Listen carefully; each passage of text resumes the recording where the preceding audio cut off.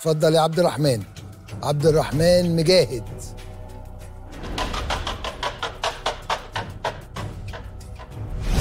معلومات عامة. سؤال في المعلومات العامة. سؤال ب 20 نقطة ولا ب 30 نقطة؟ شكرا. 30 هتعرف الجواب دوس على البازر.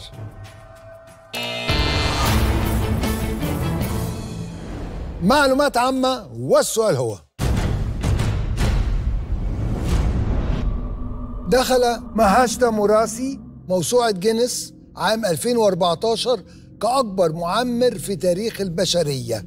فما هي جنسيته؟ 179 سنة.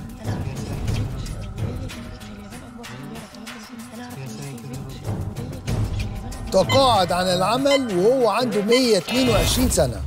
مهاشتا مراسي. ياباني؟ ياباني؟ إجابة خاطئة.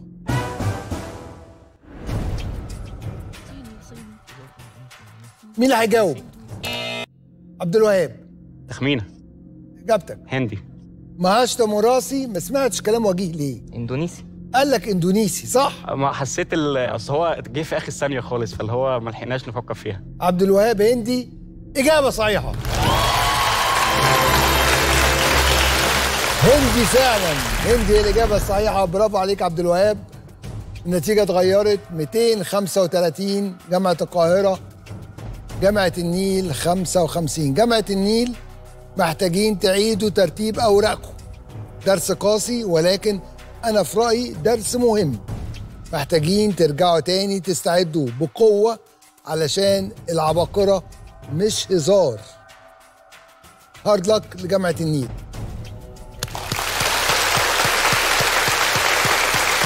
جامعة القاهرة شكلكم جايين وعينيكم عكاس واضحة. إن شاء الله. واضحة وصريحة. الحقيقة أدائكم مبهر. 235 نقطة.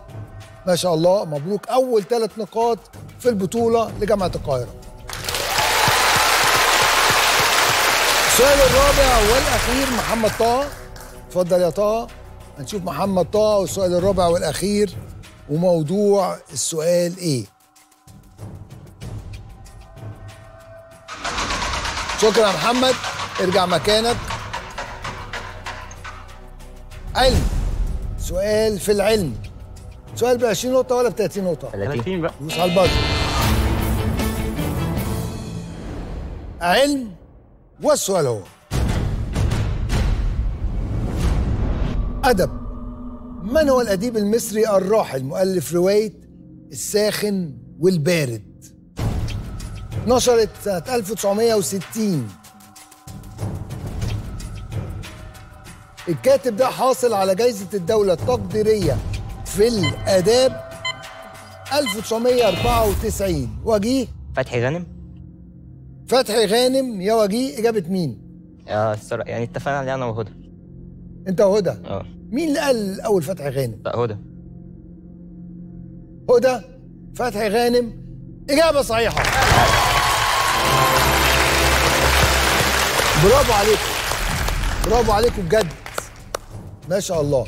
265 نقطة في مباراة واحدة ما عدتش عليا قبل كده. بصراحة أفضل لاعب في ماتش النهاردة وجيه سمير ب 80 نقطة. السؤال الأخير هو اللي اداك اللقب. المفروض تشكر هدى. شكرا.